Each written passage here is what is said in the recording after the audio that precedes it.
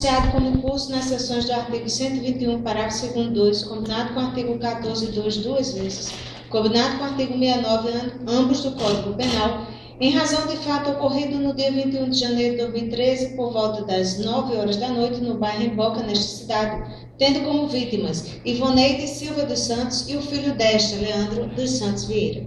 Em plenário, o Ministério pugnou pela desclassificação do crime para o delito de lesão corporal por duas vezes. A defesa, da mesma forma, suplicou pela desclassificação do crime de tentativa de homicídio para lesão corporal.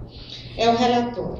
O Conselho de Sentença, indagado sobre os fatos debatidos entre a acusação e a defesa, por maioria dos votos, não reconheceu que o réu cometeu crime doloso contra a vida, desclassificando a infração penal para outra de competência do juiz singular.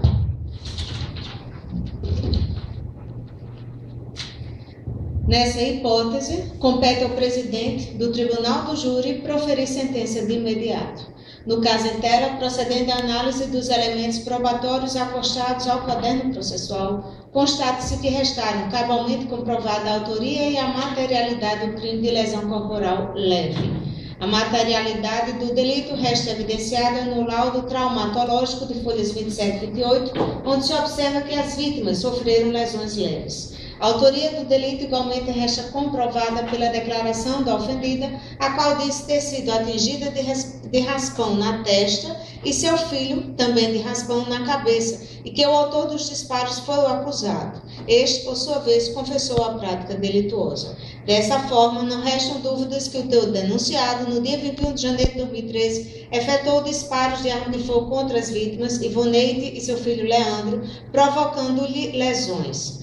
Ademais, a prova revela que o acusado convivia em união estável com a vítima Ivoneide Silva dos Santos, restando caracterizada a prática de violência doméstica nos termos do parágrafo 9 do CP, combinado com o artigo 5 2 da Lei 11.340-06, conhecida como Lei Maria da Penha. Diante do exposto, julgo procedente a denúncia para condenar o réu José Marcos Gonçalves, já qualificado, como incurso nas penas do artigo 129, parágrafo 9 do Código Penal, combinado com o artigo 7 da Lei 11.340-2006, em relação à vítima Ivoneide Silva dos Santos, e nas penas do artigo 129, parágrafo 9 do Código Penal, em relação à vítima Leandro dos Santos Vieira. Para a primeira vítima, Ivoneide, passo a dosar-lhe a pena. A culpabilidade é normal do tipo nenhuma mácula nos antecedentes do réu, segundo o relato da vítima Ivoneide com quem o acusado convivia. O réu tem uma boa conduta e um bom comportamento social. As circunstâncias do crime são normais, consequências do crime foram leves, não apurados os motivos do crime, não podendo beneficiá-lo. O comportamento da ofendida não influiu no seu desiderato, não podendo beneficiar o réu. A situação econômica deste não é boa. Diante disso, considerando que para o delito de lesão corporal por violência doméstica, a pena combinada de detenção de três meses a três anos, fixo a pena base em seis meses de detenção. Aplico o atenuante da confissão, diminuindo a pena em um mês e fixo-a em cinco meses de detenção.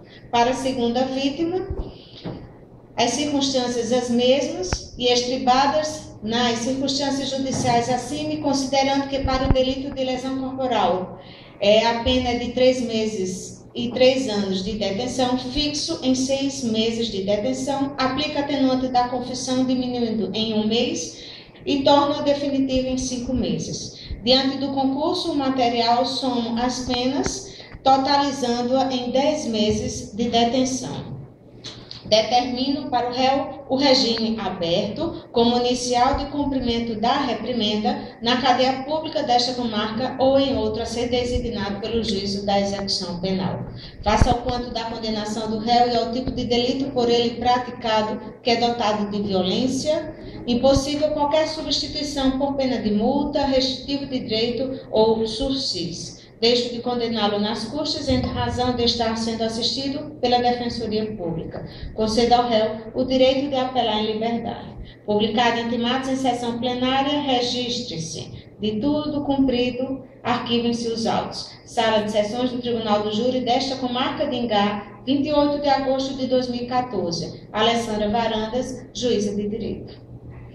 Dou então encerrada essa sessão, né, convidando e convocando os jurados para a próxima quarta-feira estarem aqui. Agradeço a todos, doutora promotora, doutor Lumar, e até a próxima, se Deus quiser.